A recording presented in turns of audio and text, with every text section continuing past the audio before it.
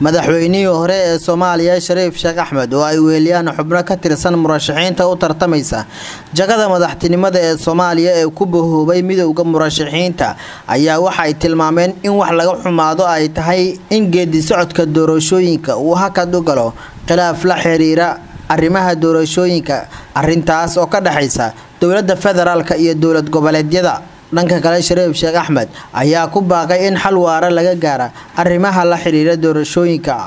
Shirarkeenna isdabajooga ahaa beryahan waxay ku saabsanaayeen marxaladda kala guurka runtii madasha murashaxiinta.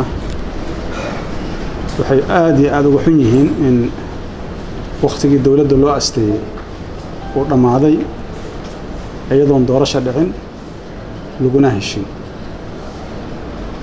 Xilligan waxay ahaaday madaxweynaha doorashadiisa kale inay dhiman tahay. Ama ugu yaraan heshiis lagu yahay habka doorashada iyo wakhtiga. Qodobka labaad waxay ahaaday madasha midowda murashaxiinta maadaama ay yihiin dad xilal waaweyna dalkan ka soo qabtay haddana u taagan xilka madaxnimada inay qayb ka ahaadaan wada tashiga xalinta khilaafaadka ka jira habka doorashooyinka. Qodobka saddexaad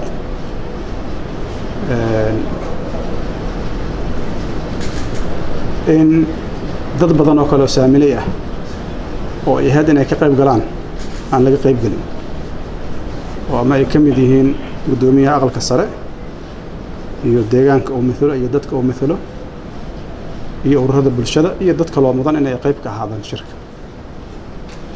Qodobka afaraad haddii u dhammaaday muddaxileedkii dowladda baarlamaanka waa soo dhammaaday madaxweynaha xilkiisuna wuxuu ku egyahay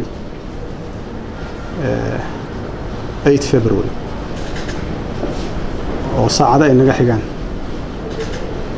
Marka maadaama ay ou dhammaaday wakhtigii loo idmado dowladda wax walba oo tilaabo ahoo loo qaadayo hannaanka doorashooyinka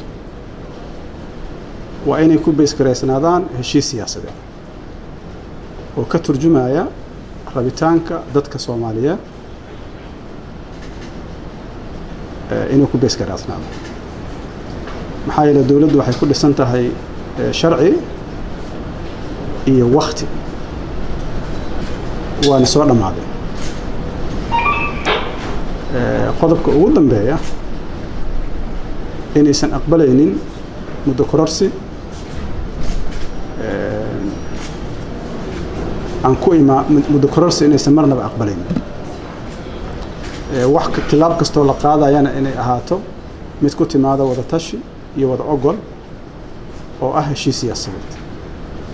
Aad iyo aad u mahadsantiin.